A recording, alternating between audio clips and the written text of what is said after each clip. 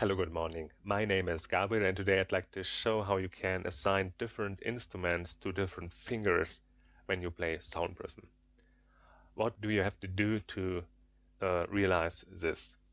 The first thing is that you have to configure your synthesizer in that way that it has different instruments on different MIDI channels.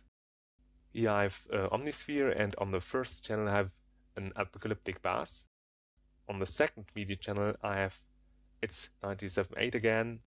And on the third MIDI channel, I have the sound Adagio transparent string swarm.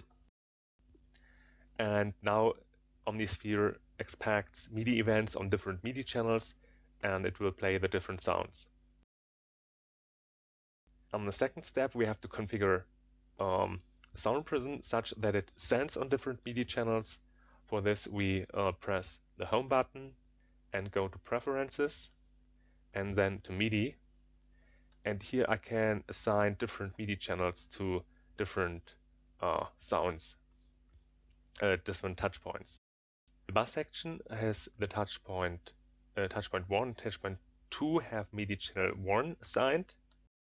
And the chord section has also MIDI channel 1 assigned. This means that at the moment, every finger will play the same sound this we have to change. So I assign to the touch point 1 the MIDI channel 2 and to touch point 2 the MIDI channel 3 and then I go back and close.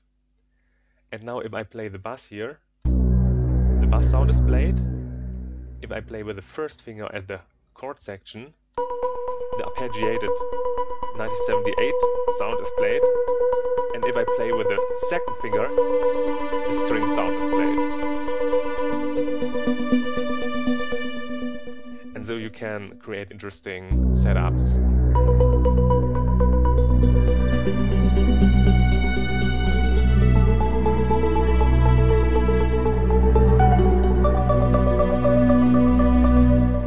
That's all. Thanks.